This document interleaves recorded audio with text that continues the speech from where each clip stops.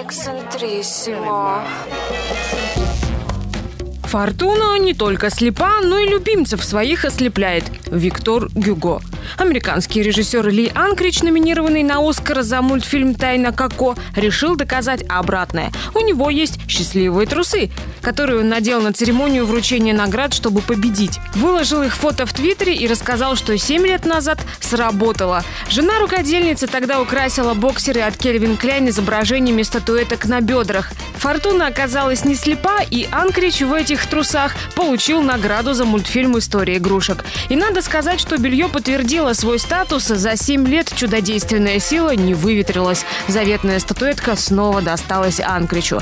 Кстати, самые дорогие мужские трусы в мире той же марки Кельвин Кляйн. Неизвестно, наделены ли они магией, но стоят столько, сколько наши пенсионеры иногда гадалкам платят – 17 тысяч долларов. На Оскар их вряд ли наденешь. Сделаны они из замши и сатина, со стразами и автографом Джона Гальяна, который при первой же стирке сотрется. Такое только в рамку и на стену. Ослеплять любимцев фортуны. Эксцентриссимо.